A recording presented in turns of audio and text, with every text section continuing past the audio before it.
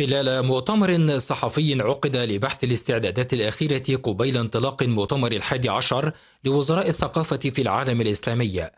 المؤتمر جمع بين المدير العام للمنظمة الإسلامية للتربية والعلوم والثقافة إيسيسكو دكتور سالم بن محمد ووزير الثقافة التونسي محمد زين العابدين.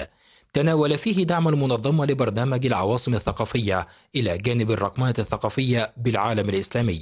برنامج عواصم الثقافة الإسلامية أنا أعتقد بأنه برنامج كبير جدا طموح يعزز أهمية الثقافة الإسلامية ويعزز الهوية الحضارية الإسلامية في دول العالم الإسلامي. نحن مستمرون في هذا البرنامج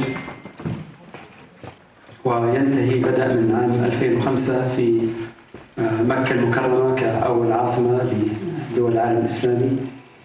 ولا ينتهي اليوم ولكن سيكون إن شاء الله حتى عام 2025 ثم يكون هناك عواصم لدول أخرى. كما بحث الطرفان الاستراتيجية الإسلامية التي تتبناها منظمة الإيسيسكو والتي ستعبر بالثقافة الإسلامية إلى الخارج في ضد التحديات الراهنة.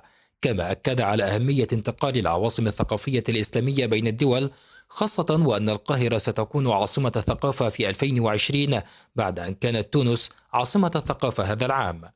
يذكر بأن الإيسيسكو وهذا المؤتمر يعني مؤتمر الدول الإسلامية عالم الدول الإسلامية وهذا أعتقد ضمن يعني إرادة واضحة في التمييز بين الثقافة الإسلامية وثقافة دول العالم الإسلامي.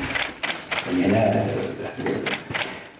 نقلة نوعية في مستوى التمثل مظاهر الثقافة وأهمية الثقافة والشأن الثقافي والمسألة الثقافية في تونس. وتشهد منظمة الإيسيسكو حركة لدعم الدول الإسلامية على كافة المستويات الثقافية من دعم البرامج الثقافية والحفاظ على مناطق التراث الإسلامية وبحث سبل التمويل المختلفة. تحديات كبيرة تواجه تصدير الثقافة الإسلامية إلى خارج أقطارها. لذلك كانت الوثيقة الاستراتيجية الإسلامية التي أطلقتها منظمة الإيسيسكو ضرورة ملحة لاستيعاب كافة الثقافات إلى جانب برنامج العواصم الإسلامية التي ستكون القاهرة عاصمة له 2020 كعاصمة إسلامية.